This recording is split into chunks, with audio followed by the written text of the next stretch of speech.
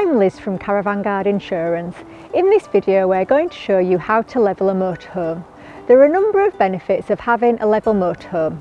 Firstly, equipment such as absorption fridges tend not to work as well on uneven ground and sleeping in a sloping motorhome can also be quite uncomfortable. And finally, cooking inside a listing kitchen can be dangerous if you have hot pans slipping off the hob. A level motorhome can be achieved very quickly and is the first task that should be completed once you've moved onto your pitch. To level a motorhome, you need just a few things. Firstly, a spirit level or form of levelling device which you might have on your mobile phone and secondly, at least two levelling ramps that are specifically designed for motorhomes. If possible, select a pitch that is already fairly level and reverse onto the pitch as per the campsite instructions. So now we're parked up, let's make a start. Using the spirit level will help you to understand which way the motorhome needs to be level, as will a tin of soup or a tennis ball placed on the floor. While some motorhomes will lean to the front, firstly we're going to measure from left to right.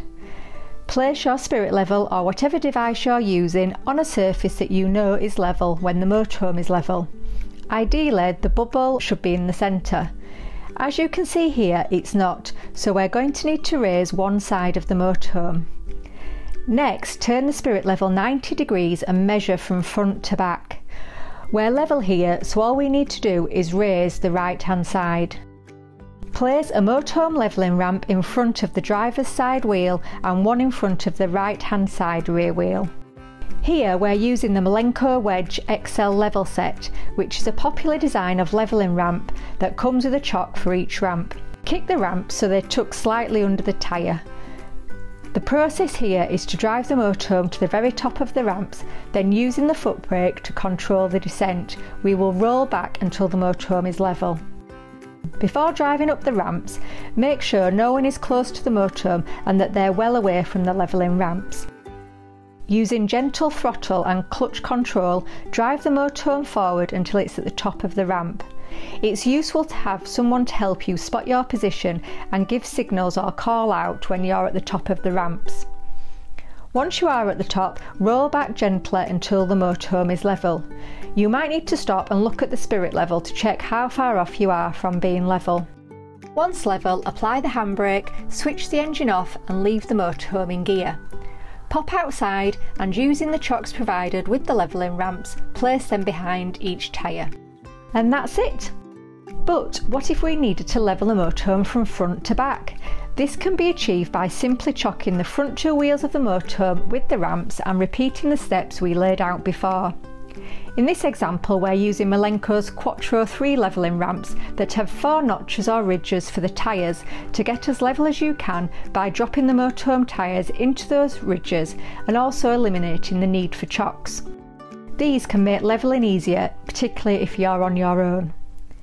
In any circumstance, you can make sure you're completely level by pouring a glass of water or something a bit stronger and pop it on a table or worktop. A tennis ball or that tin of soup mentioned earlier are also great indicators of how level you are. If your motorhome is already level, it's still a good idea to chock your front or rear wheels at the back. Finally, if you're lucky enough to have an automatic or self-levelling system, you'll simply need to activate this once you've parked up your motorhome on your pitch using the controller provided. It's important not to forget that your motorhome is on the levelling ramps when leaving your pitch and to reverse slowly down them and pack them away before heading off. We find that leaving the bag for the levelling ramps on the driver's seat, on the dashboard or in the footwell is a great reminder that you're going to need to back down the ramps rather than simply driving away. So there you go, we hope you found this video useful and that it will help you to achieve a level motorhome wherever you might pitch up. For more motorhoming hints and tips including a gear guide on levelling ramps, why not head on over to the Caravan Guard website. You can also get a quote for your motorhome or campervan insurance there. Thanks for watching and take care.